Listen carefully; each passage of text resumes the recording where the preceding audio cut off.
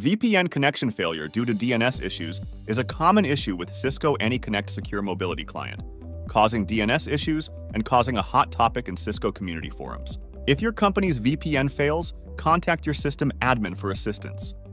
If the error is caused by client-side settings, try these solutions to fix it. VPN connection failure often indicates network or application issues, such as faulty DNS configuration, bad internet connection, corrupt VPN app, or corrupt operating system.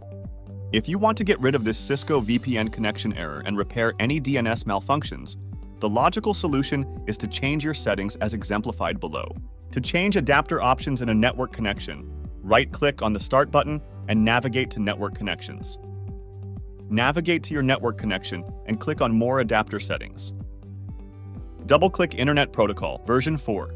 Select Obtain DNS server address automatically and click OK.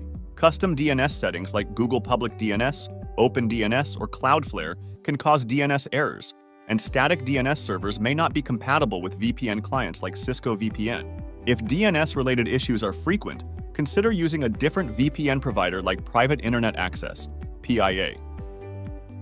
PIA offers secure DNS configurations, customizable settings, and global server coverage of over 35,000 servers.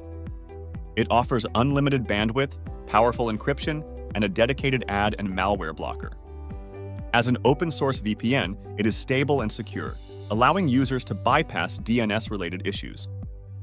AnyConnect's corrupt XML profiles can cause errors. Reinstall AnyConnect. Try connecting to another region, specifying an alternative VPN gateway or verify DNS name and port address. If the error cannot be resolved using the provided solutions, backup important data and applications, reinstall Windows, or use the refresh tool for a clean installation. And there you have it. Solutions to fix the VPN failed due to unsuccessful domain name resolution error. If you find this video helpful, give it a thumbs up, subscribe for more tech tips, and share it with others facing similar VPN challenges. Until next time, happy browsing securely with your VPN.